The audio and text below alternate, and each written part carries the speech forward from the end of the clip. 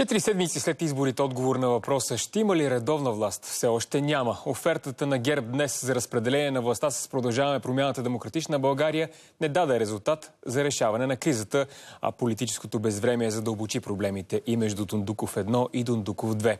Всичко това обобщаваме с Десислава Ризова и Добромир Николов. Първо към Деси проблемите пред мнозинството. Добър вечер. Добър вечер. След като през последните дни първите и вторите си поставяха условия и контраусловия, покани и контрапокани, днес Бойко Борисов постави на масата ясна оферта. Самият Борисов да е премиер, а генерал Атанас Атанасов от Продължаваме промяната Демократична България да стане председател на Народното събрание. Борисов също така припомня, че категорично няма да влиза в управление с възраждане и с Доган, Костадинов, Меч и Пеевски. Продължаваме промяната Демократична България. Отговорих писменно за тях. Бойко Борисов да стане министър-председател е абсолютно неприемливо.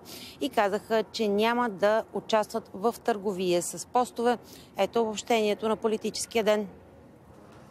Наблюдаваме подготовка за предсрочни избори и опит да се инсталира служебен премьер обявиха от ГЕРБ след заседанието на ръководството си и обявиха решението си.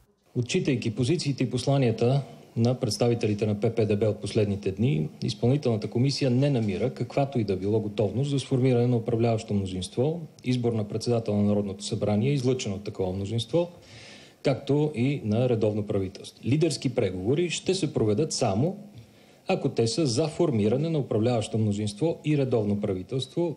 Самият Борисов обясни какво предлага. Той, премьер, генерал Атанас Атанасов, председател на Народното събрание. Лично се обадих на генерал Атанасов. Им казах, аз мога да направя още един компромис в лицето на председател на парламента, да е от втората политическа сила. Ние не можем да отстъпим и затова му казах, предлагам себе си. Моята формула изключва управление с Певски, Доган, Костадинов и Меч. Изключва. Какво искат повече? Да им подписвам декларация, която юристите казват, три неща са противоконституционни. Борисов обяви, че няма да отиде на лидерска среща, за да не се упражняват върху него и заподозря альтернативен план в поведението и условията на продължаваме промяната Демократична България. И накрая да излезат и да кажат, еми, виждате ли, ние за това сме с възраждане. Те търсят само това, да легитимират пред Запада и пред техните е, привърженици, защо с възраждане. Имат си вече мнозинство, могат да си гласуват председател на парламент. Нека да опитат правителство на Възраждане, на ПП, на Итана, на Меч. Да опитат. Може пък да е за добро. Продължаваме промяната Демократична България отговорих на Борисов с писмена позиция. Единственото решение е отключване на работата на Народното събрание и съставане на проевропейско правителство с равно отдалечен премьер, гарантиращо пълното изолиране на Пеевски от всички властови позиции в държавата. За нас Бойко Борисов за премьер на България е абсолютно неприемливо предложение. Заявяваме, че няма да участваме в търговия за постове.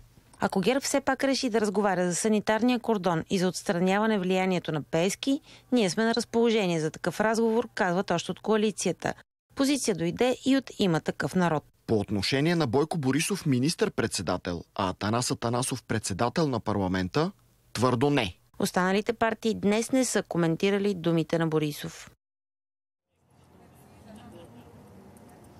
И така, както става ясно, нещата между първите и вторите остават изключително сложни и непредсказуеми. На този фон БСП подеха инициативата и още в петък изпратиха покани за обща среща до пет парламентарни формации, а именно Продължаваме промяната Демократична България, има такъв народ, Меч, Възраждане и Алианс за права и свободи. Така общо стават 6 партии, които биха могли да седнат на една маса, а не поканените са ГЕРБ и ДПС ново начало. Кой ще се отзове и как ще протече разговора, ще знаем утре, но вече можем да пресметнем, че всички тези партии без ГЕРБ и ДПС ново начало общо имат 141 гласа. Благодаря Десислава Ризова за политическите совалки в търсене на редовна власт. И още политика